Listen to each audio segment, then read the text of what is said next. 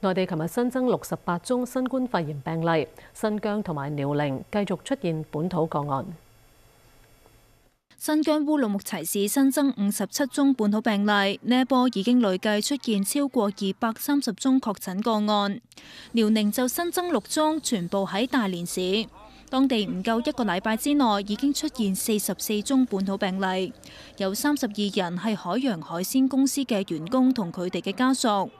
當局宣布即日開始全市停止舉辦婚宴、生日宴等集體聚餐。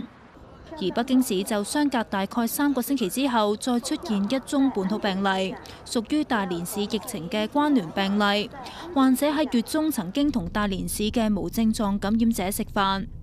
當地亦都多一宗境外輸入病例。國家衛健委話，新冠肺炎疫情係近百年以嚟對全球嚟講一次嚴峻嘅考驗，